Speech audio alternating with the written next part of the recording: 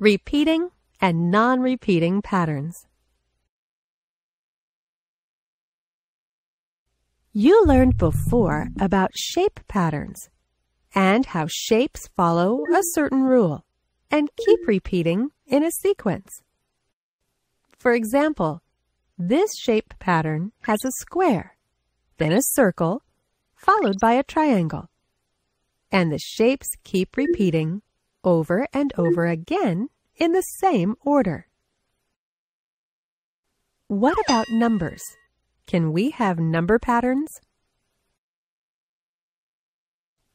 Well, if we think of a square as the number 1, and a circle as the number 2, and a triangle as number 3, then we will have the sequence as you see here.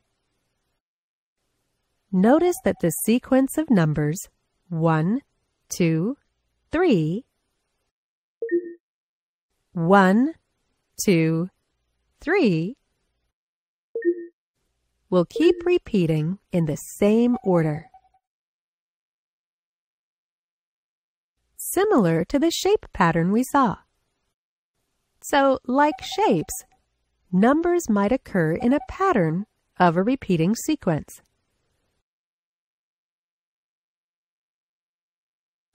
But could we have patterns where shapes or numbers don't keep repeating?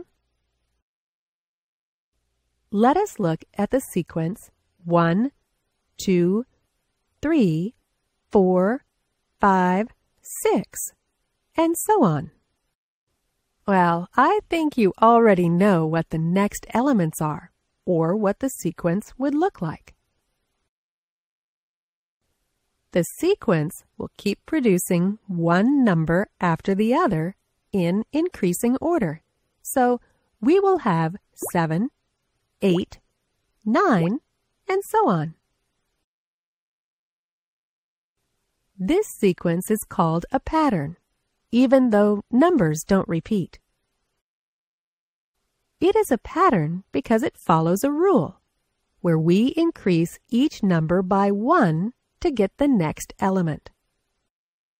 So, number or shape sequences could be patterns, as long as they follow a certain rule. And these patterns could be repeating like this one. Or non-repeating, like this one.